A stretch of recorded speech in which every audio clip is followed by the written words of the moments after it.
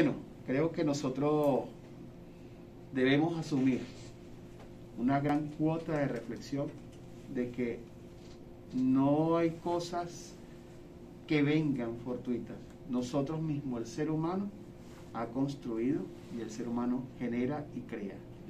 Entonces nos corresponde también pasar por reflexiones en función a nuestro rol en el tránsito por la vida terrenal, en el tránsito aquí en la tierra, en nuestro rol, nuestro rol como seres humanos, como humanos, como ciudadanos, como padres, este, cuál es nuestro rol verdadero.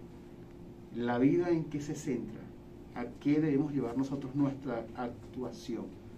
Debemos correr realmente todos los días para para trabajar mucho y para amasar dinero para vivir o para vivir y construir vida y construir un mundo mejor. Entonces, creo que esto que está ocurriendo, que no es agradable, por supuesto, nada lo del COVID, ni los familiares ni amigos que se han perdido en lo largo de, esta, de este flagelo, ¿ok?